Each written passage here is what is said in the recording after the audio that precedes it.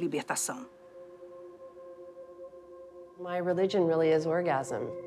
By orgasm, what I mean is like this underlying something that seems to move through the world. Quando você entrava na One Taste, a maioria das pessoas tinha uma definição de orgasmo, uma definição comum, uma experiência sexual de clímax, né? Esse é o orgasmo.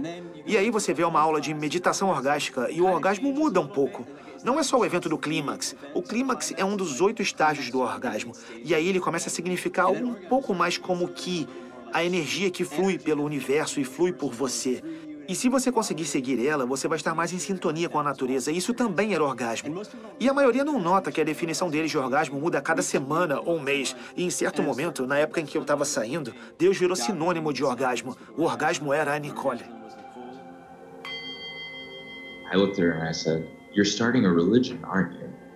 And she goes, Yeah, I want to start a religion. But the thing is, you can't sell God because you can get God on Amazon. What I'm selling is sex because you still can't get that.